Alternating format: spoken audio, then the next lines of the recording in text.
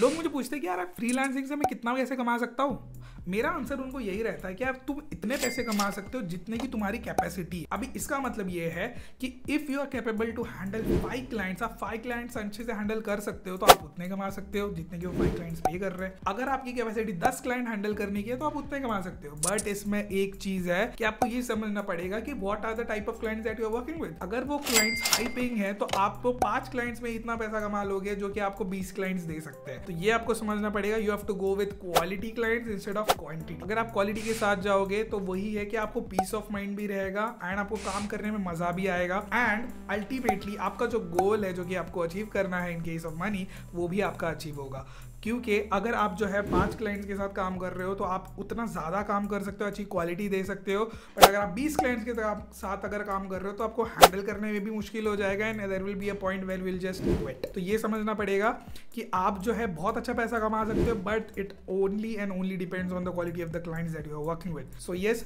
make sure आप ये समझो एंड इसको अप्लाई करो। वीडियो अच्छा लगा तो फॉलो कर लेना and share with your friends